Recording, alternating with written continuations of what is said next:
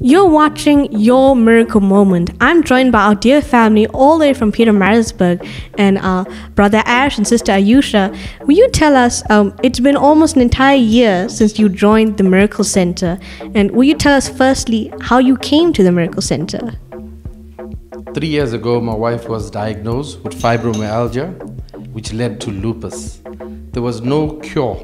Well, that's what we are told, there was no cure. And I was introduced to TMC by a friend of mine. And he told me his wife, Elaine, had been cured of this disease. I brought my wife and family on the 5th of February in 2017. And three weeks after that, my wife was totally healed, totally cured of an incurable disease.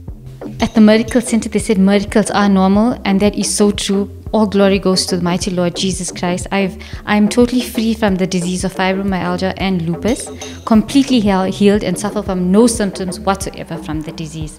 All glory goes to our mighty Lord Jesus Christ and the Miracle Center. Miracles are normal. So, anyone out there who's also suffering from the same disease, I ask you to please come and experience the same miracle I experienced at the Miracle Center.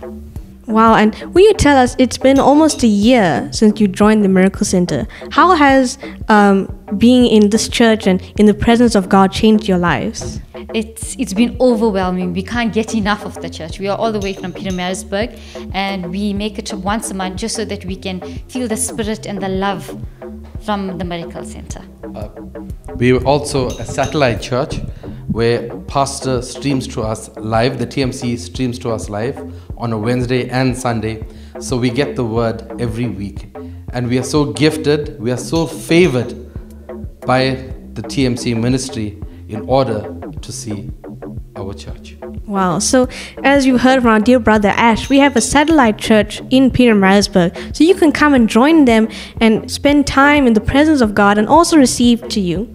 Also, if you're living closer to us in Kya Sands, I want to encourage you to come visit us at the Miracle Center where you can receive your healing, your breakthrough, and you're going to be touched by the power and the glory of God. Stay tuned to your miracle moment and remember, miracles are normal.